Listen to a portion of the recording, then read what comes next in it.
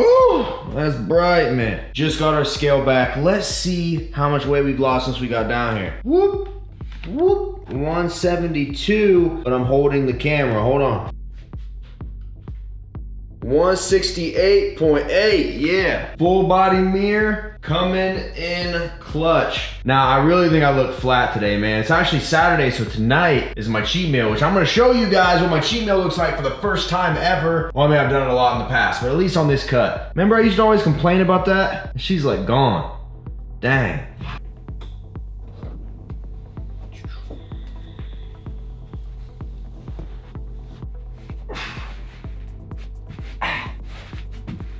By the way, for the people commenting saying they really want like these shoes, don't forget footlocker.com, finishline.com. You get on order like dang near anything you want. They send you a pair of shoes. They don't fit. They have a return label in there. You just send them right back. Get them until they fit. Pro tip, man. All right, cardio shirt. Ooh.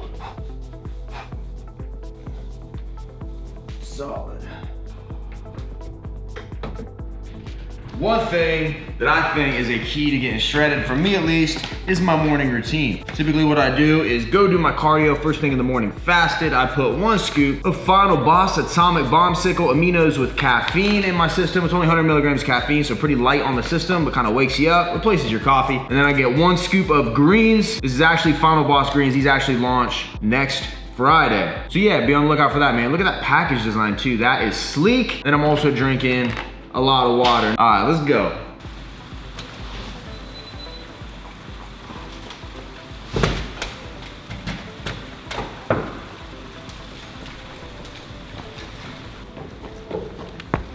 So every morning when I wake up and do my cardio, I get to walk right by the pool area and this view is just like, I don't know, it does something for me. Check it out. Look at that, man.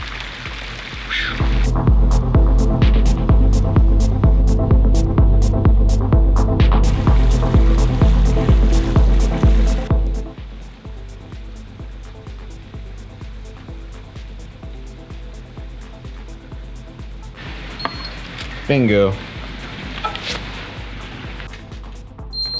Nice.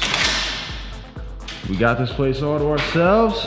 Heck yeah. One of the reasons I really wanted to move here was because of the fitness center. Now, does it have everything you need to get the ideal workout? Not everything, but you can get the job done. Smith machine, cable machine, benches, medicine balls, dumbbells, kettlebells, cardio equipment, ton of machines I'll probably never use, and most importantly, the holy grail of cardio, they have a stair stepper that overlooks the pool, man. Game changer.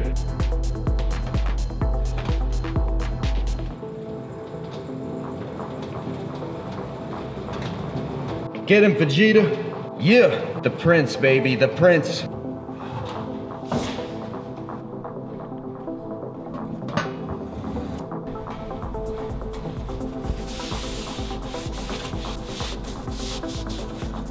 Got to keep your counters clean too as well. You never know when you're gonna have an unexpected guest. Hopefully it's a classy young broad and not the FBI or an alien abduction, I don't know. So in my last house, I like paid someone to clean it like once every couple weeks. But this one, I'm not gonna do that, man. It's crazy when you have like a nicer place or a newer place, how much it makes you wanna like keep it clean, you know? Shout out to all my dudes out there that actually clean and keep a nice place, man. I know it ain't easy, but it's worth it. It's worth it. Where's my candle gang at, baby? Shout out to all the men out there buying candles without feeling like a ninny. The smell is worth the rise in estrogen, I promise. And you never know when you're gonna have an unexpected guest. So after the gym, I actually came in, finished unpacking boxes, did all my client work, basically had everything done for the day, and it is only 10, 10, man. I woke up early today. I started waking up a little earlier, maybe a month ago, and what it does for my productivity is insane. I'm in bed early because I'm exhausted by the end of the day, but I'm sleeping better, I'm getting a lot more done, and it just frankly feels good. But with all that done, I'm gonna show you guys basically where my house is at right now. Apartment, I need to used to saying apartment, not house. Nine year habit I'm trying to break. Tougher than cigarettes, I heard. Cigs. So let me show you the current work in progress. Come on.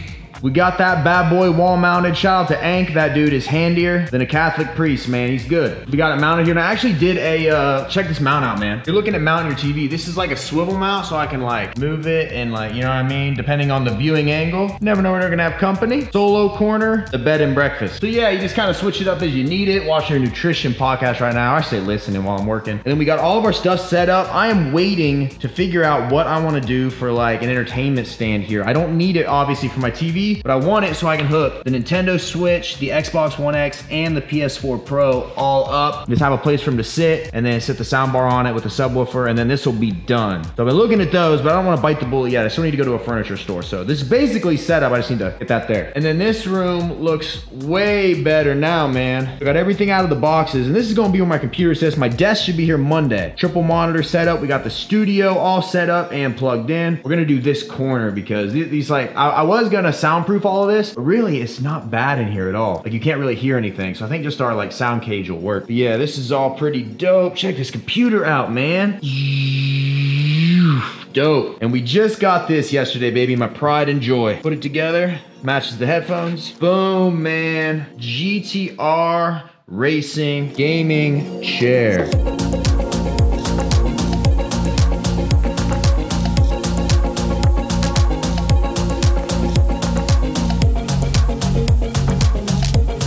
Just an amazing piece of craftsmanship here. You really can't beat the fun you're gonna have with the GTR racing chair. And no, they did not sponsor this. I did take it for a couple laps around the living room and boy, she's fast. It's easy to lose control, but I'm telling you, if you just let it take you, it's so worth it. Just hold on for your dear life because this thing's gonna take you for a spin, baby. And I ain't talking a rinse and wash cycle. So yeah, that's the chair. Pretty dope. Can't wait to, I have a matching desk coming, so can't wait to match them up. And then in this corner, I'm gonna make this like, cause my gaming channel, link in description by the way, I'm gonna build this into a music studio slash office slash streaming center too. So we also got an extra Xbox One X, PlayStation 4, and Nintendo Switch here with all the hookups. Just waiting to see how the desk fits so I can figure out where everything is going. And last but not least, check it out out, man. For now, this is gonna have to do. Figure that's, you know, that, that's cool for right there, right? Just kind of hidden, you know what I mean? So if I have an unexpected guest, the nerd flag ain't waving too heavy, like a dog with the red lipstick, you know. But it's kind of tucked away, you know, and as they get to know me, it all comes out. All right, guys, all right, we, we gotta talk. We gotta talk.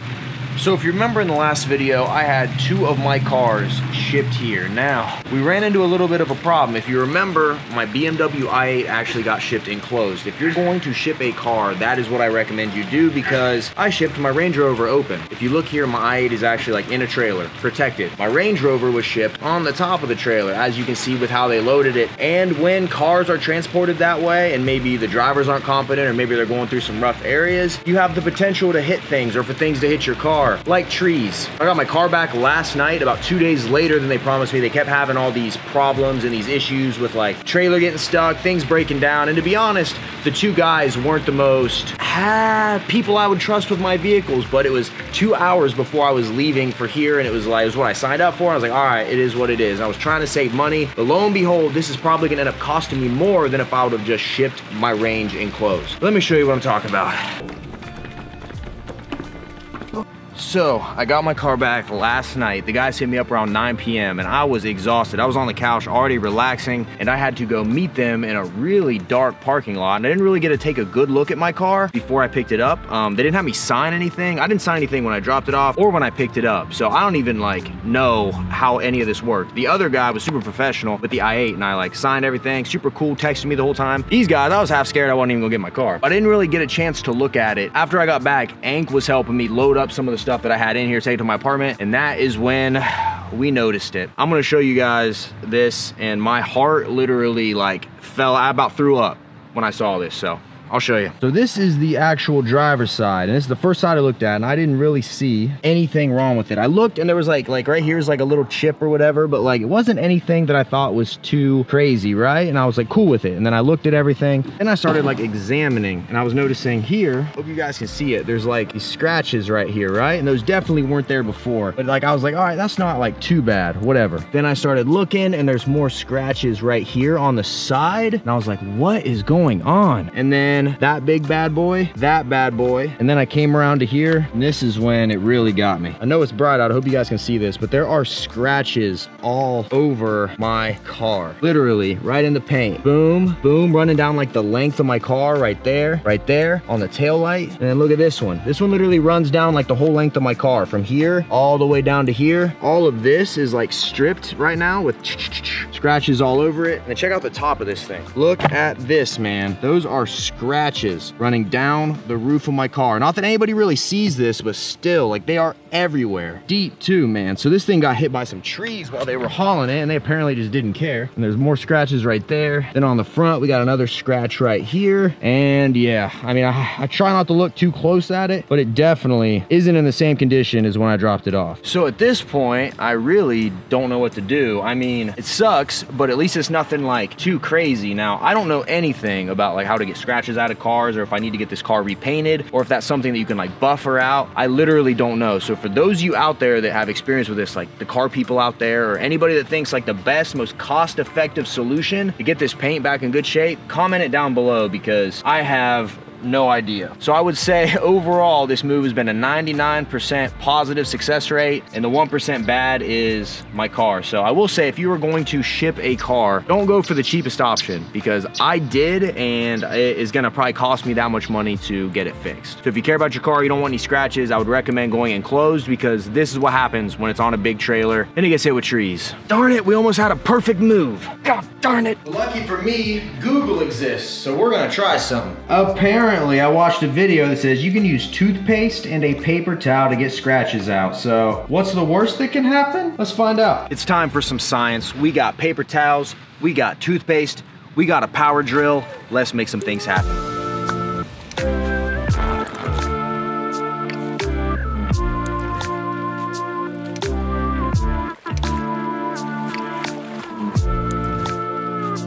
I'm no expert, but looking at this, it's not 100% gone, but it's definitely better. Who'd have thought, man, toothpaste. That explains all the bad teeth out there, man. They just been fixing cars. Who'd have thought? Let's try it on some more.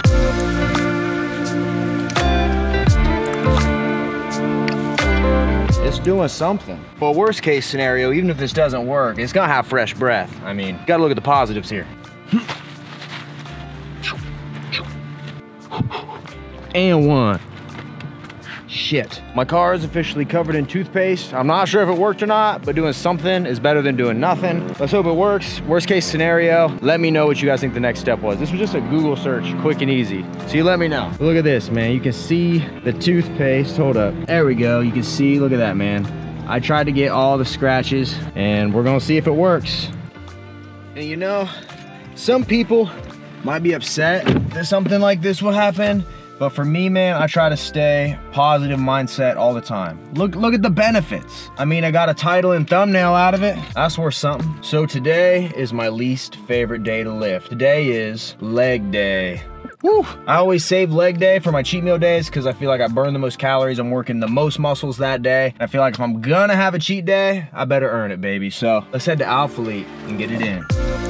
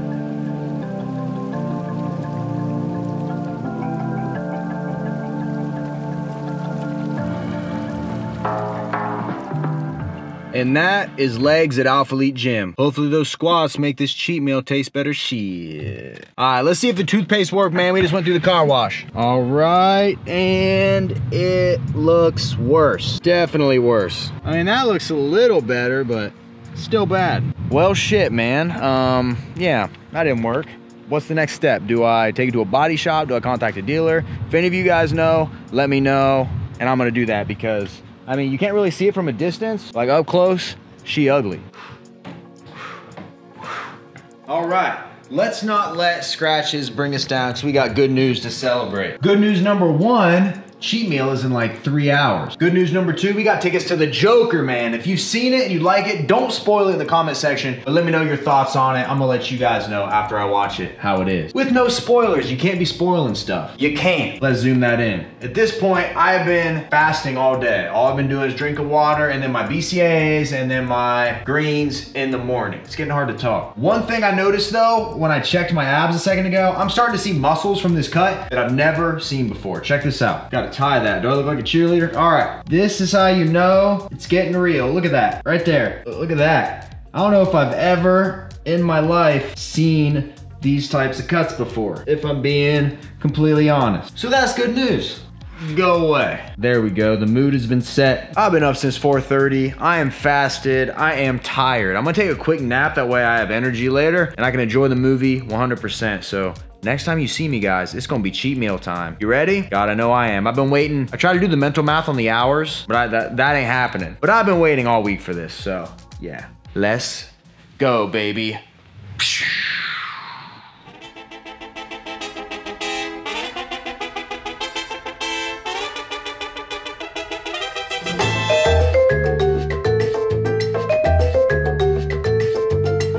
Right, guys, cheat meal time, man. I let them suggest a place. It's called Lupe Tortilla. It's basically like a uh, Tex-Mex joint. So I got tacos and a lot of stuff coming. I'm gonna show you guys. Right now, we're eating some nachos. How are they, bro? Oh, so good.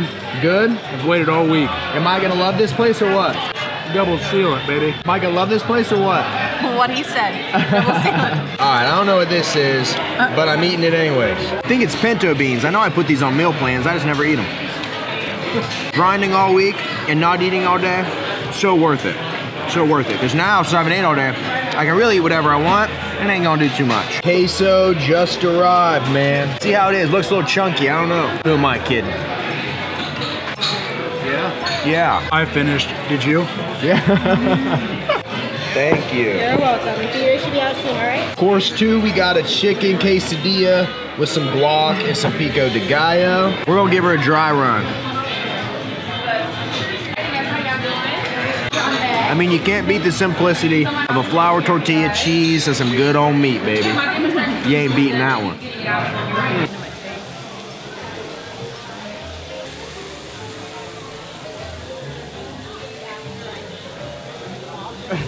We built our own burrito, man. We got beef, guac, cheese, rice, beans on there. Look at that thing, man. Still sizzling. It's hot. Homemade tortilla, custom made burrito. Let's see how she do. Best Mexican Tex-Mex restaurant I've ever been to, hands down. Hands down? Word, what he said. Hands Word. Word. One of the best cheat meals I've ever had, man. Everything tastes better in Texas. Yeehaw, buddy. right? Woo. And the cool thing about that was like, I don't feel like miserable fool. Like if I go somewhere else and I eat a lot of like ice cream or just a lot of junk, man, I feel kind of crappy. But that was a lot of meat, a lot of rice, a lot of beans. Ideal cheat meal. But we're gonna go see Joker now. And you know I'm getting snacks, man. You know I'm getting snacks. I'm gonna put this up. I'm gonna try to grab some clips with my phone because I can't bring this in. Show you guys like what the rest of my cheat meal looks like, but I'm gonna be back. It'll be on Fire Stick here soon. Slap it, bud. All right, man, let me shoot you straight. The Joker, a clever tale about the descent of one man into utter madness, a city that has failed him, a system that is corrupt, and one man rises above to fight the social injustices wrought upon Gotham. It was good, it was good. Wouldn't see it twice, definitely a slow burn, but it was good. If you saw it, comment below what you think. I mean, it was good, but I won't see it twice. It was actually pretty dang good. I ain't gonna see it twice. I enjoyed it, wouldn't watch it again. The selection of snacks at the movies wasn't the best I've ever seen, so I ended up with some cinnamon bites with a little icing, and I got peanut butter M&Ms. Ate all of that along with a bottle of water. And then I just left Walmart. I got Chips Ahoy Thins right here. And I got a thing of almond milk in the fridge. I'm gonna have milk and cookies, why not? Got a Los Olas, not sure what it is, but the gas station had a $3 minimum. So, got some candy, got a Reese's, and then hold up. Now since dairy tends to like break me out make me more bloated, try dairy-free ice cream. I don't know how it's gonna be. It's chocolate chip cookie dough. Um, yeah, might have a bite and throw it away, but you don't know unless you try. So that is gonna wrap up this video, guys. And I know some of you are probably watching, you're like, how and why is he eating all of this? And really, man, my strategy is if I am perfect, and I mean perfect, six days out of the week, then I can have my seventh day where I kind of just do whatever I want have all those foods that I'm craving, right? Where I think a lot of people mess up with cheat meals is that they're not really perfect all week, but they still want their cheat meal, right? Or they have like two a week or three a week. The thing is, right, I don't give myself a cheat meal unless I am perfect. And perfect means my diet is down to the T. And every one of my macros, I hit my protein, I didn't skip any meals, didn't skip any workouts, didn't skip any cardio session. If I wake up tomorrow and I feel like crap, I would do an extra cardio session on top of it to negate the damage. You gotta have responsibility with food, man. If you let yourself have this stuff all the time, did you earn it? What'd you do for it? That's what I asked myself. It's like, why would I go eat something like this if I didn't earn it? And for me, if I have a perfect week, then I think I earned it, right? I think the problem with a lot of people is that they reward themselves for no reason. If you didn't earn it, you shouldn't have it. At the end of the day, that's it, man. Set a goal for yourself. Achieve that goal. You don't gotta work out every day, but if you work out, even if it's three days a week with three cardio sessions and you're keeping your diet around 2,000 calories, you just do just do that, right? And if you can do that every week, give yourself the cheat meal. If you can't do that, back to the drawing board, man. This is more of a mental game than it is anything. So I think I'm done rambling. Appreciate you guys as always for watching. Let me know about my car, man. That is stressing me the heck out. So let me know if you have any suggestions for that. And I think that is it, man. Thank you guys as always. Smash those up, subscribe if you're not subscribed, hit that notification bell, and we are out of here. I will see y'all at the next video.